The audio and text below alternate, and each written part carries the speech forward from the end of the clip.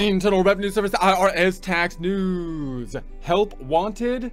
Businesses that are hiring should know about the Work Opportunity Tax Credit. Oh yeah, IRS. Well, you should know about the government stay out of my hiring practices rule that I put in place. In any case, first an attempt at a joke. It's my way or the highway. My way or the highway. Fortunately, my way generally is the highway. If anybody wants to walk, do it now. So I guess we can actually go my way and the highway. We've got entirely too many troublemakers here. Since really, like, uh, they're the same way. She's with them. Who's them? Them are the same as they. That way everyone's happy. Who is they? They is the walrus. Honestly, why wouldn't you go the highway, which is also my way? I mean, it's the fastest way. That's why they built it. That's why I built this time machine. I give you the chrono trike. Plus, I really don't know any other way. And avoid the blockade.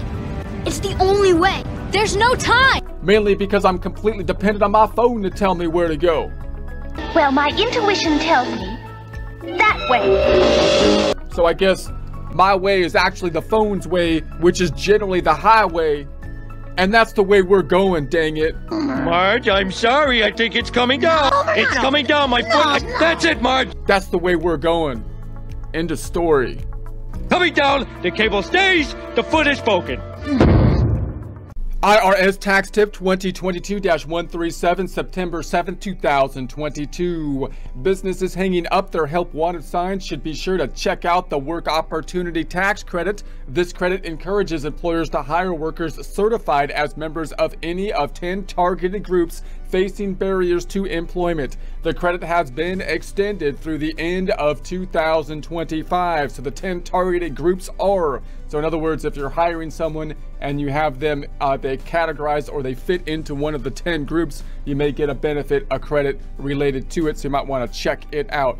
So we got the temporary assistance for needy families, recipients, qualified unemployed veterans, including disabled veterans, formerly incarcerated individuals, designated community residents living in empowerment zones or rural renewal counties, vocational rehabilitation referrals, summer youth employees living in empowerment zones, supplemental tr- nutrition assistance program recipients, supplemental security income recipients, long-term family assistance recipients, long-term unemployment recipients. Certification requirement. To claim the credit, an employer must first get certification that an individual is a member of the targeted group. So if you're going to get a credit for hiring someone in a particular group, you got to be able to verify that they are in that particular group in some way, some shape, some form. They do so by submitting IRS Form 8850 pre-screening notice and certification request for the Work Opportunity Credit. There's a link to that here to their state workforce agency within 28 days after the eligible worker begins work. Employers should not submit this form to the IRS. They should contact their state workforce agency with any questions about processing of Form 8850. Figuring and claiming the credit. So once you've got a hiring in place and and you've verified the person has fallen into one of the categories, then of course the question is, well, how do I get the access to the actual credit? Eligible businesses claim the credit work opportunity credit on their federal income tax return.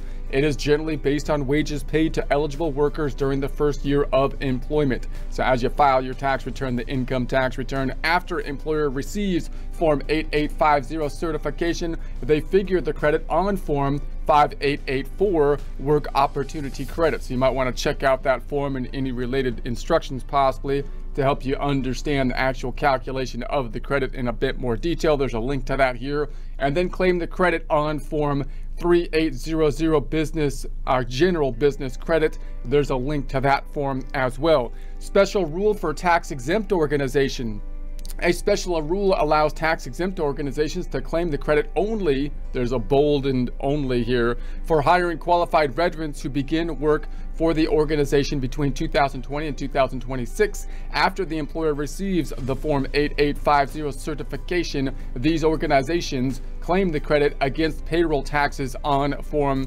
5884C, Work Opportunity Credit for Qualified Tax Exempt Organizations. There's a link to that here. Credit limitations on the credits. So for a taxable business, the credit is limited to the business income tax liability. So it's not what we would call like a refundable credit, right? It's going to be limited to your tax liability. Your tax liability can't go below, you know, in essence, zero. They're not going to pay you uh, for the business. If you have a loss, uh, then then it's not it might not benefit you past the point of the liability. So any credit remaining above the income tax liability is subject to the normal carry back and carry forward rules. So if you have a, you might be able to look into the carry back and carry forward rules when you get into a loss. Just like normal, when you when you get into a loss, the, the, the question would be the IRS doesn't want to actually pay you for losses. They're only your partner when you have income, right? Because they want a piece of the income. And then the question is, what do you do if you have a loss? Can you get some benefit from it by by matching it up against uh, future earnings or earnings in the past? And you could take a look at those rules for carry back and carry forward rules. For a qualified tax exempt organization, the credit is limited to the amount of employer social security tax it owes on wages paid to qualified employees. So there's links to some of this information here. If you want to check it out in more detail, there'll be a link to this in the description.